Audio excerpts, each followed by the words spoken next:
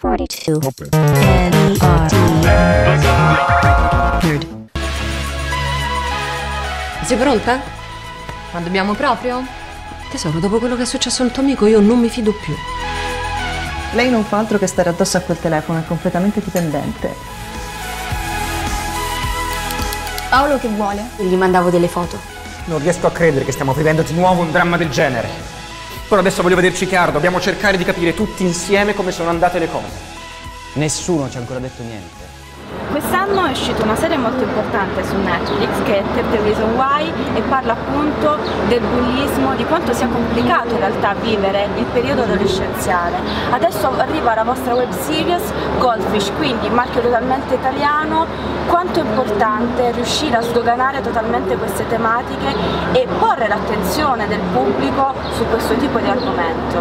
Secondo me è importantissimo eh, perché non bisogna necessariamente demonizzare i social network, cioè i social network possono essere da un lato sicuramente un'arma pericolosa per fare del male a qualcuno, anche a noi stessi, ma dall'altra anche lo strumento per comunicare, eh, parlare dei problemi e quindi trovare modo di arginarli. Spesso si dice come si fa a uscire dal tunnel in cui cade la vittima del cyberbullismo.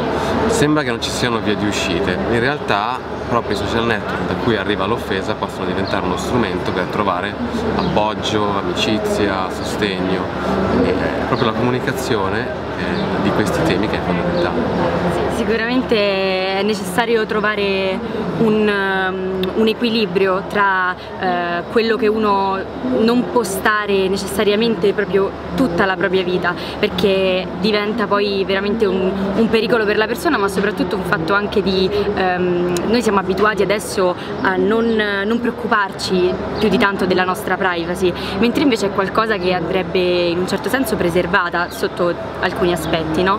e quindi decid- cioè, scegliere con cura quello da esporre agli altri eh, secondo i criteri della propria persona chiaramente e, e non essere troppo ehm, non legarsi troppo a quello che tutti gli altri fanno nel senso magari spesso delle ragazze dicono vedono una ragazza pubblicare determinate foto che ne so al mare di qua e di là e dicono anch'io lo devo fare. Ma la verità è che non, nessuno ti impone eh, un determinato target che devi seguire. Quindi ognuno deve fare quello che si sente sicuramente. La vostra esperienza personale, sia ovviamente nell'ambito adolescenziale, magari come avete vissuto voi l'adolescenza, e anche nel vostro rapporto attuale adesso con i social network, ha influito in qualche modo sui vostri ruoli, quindi in questo caso nel tuo personaggio e nel tuo ruolo da regista e sceneggiatore? Sì, sicuramente io ho preso spunto un po' dalle- dalla mia esperienza di adolescente, anche se ai miei tempi non c'erano ancora i social network, i cellulari stavano arrivando e quindi non c'erano queste dinamiche.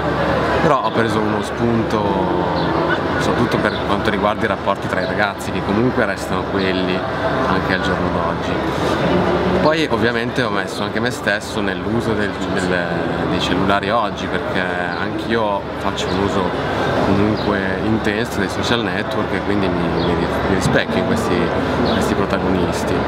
Infatti il titolo Goldfish eh, si riferisce al pesce rosso che compare nel- in classe durante la serie che assomiglia un po' a tutti noi oggi che siamo un po' diciamo, incastrati in questa boccia di vetro dei social network. trasparente dove Tras- si vede tutto Sì, trasparente, però è anche un filtro che ci separa un po' dalla realtà, in un certo senso. Per quanto mi riguarda io, a differenza dei ragazzi, dei bambini che nascono questi, negli ultimi 5-10 anni, ehm, io sono, sono cresciuta, a 13 anni è uscito fuori eh, il fenomeno di Facebook, no?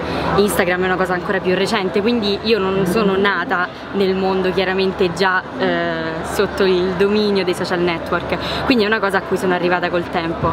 Eh, chiaramente l'uso che, che si può fare dei social è un po' eh, quello che, che ne faccio io, è un uso spero più o meno equilibrato, nel senso eh, mettere un po' della mia vita, eh, delle cose magari belle, interessanti che, che si fanno. E poi chiaramente penso anche per Giacomo è un po' ormai un modo per anche affacciarsi al mondo lavorativo, nel senso soprattutto per determinati mestieri come può essere quello dell'attore, del regista, del cantante, eh, mostrarsi, far vedere quello che uno sa fare, insomma questo, questo sicuramente è, è un aspetto importante dei social oggi.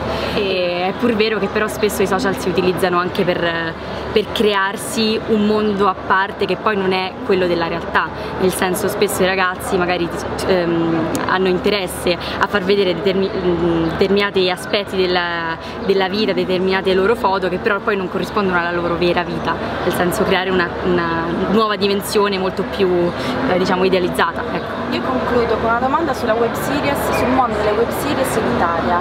È uno strumento che in effetti adesso si sta sviluppando sempre di più. Può essere un modo per sdoganare totalmente quelli che sono i canoni ancora molto rigidi della serialità italiana, cioè è un modo per potersi esprimere anche con uno stile magari un pochino più internazionale e fare anche in questo caso un trampolino di lancio verso qualcosa di più grande. Sì, perché diciamo che la web series ti permette di sperimentare sia a livello di racconto, sia a livello di linguaggio, di struttura che puoi dare alla storia.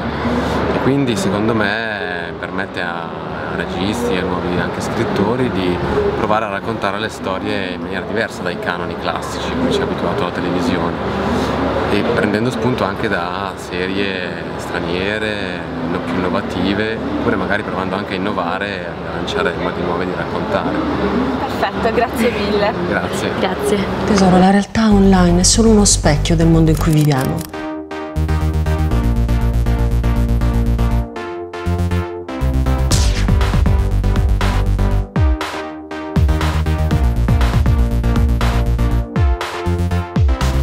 Fatte bene queste cose. Puoi mandare a fanculo la tua vita se non sai come fare.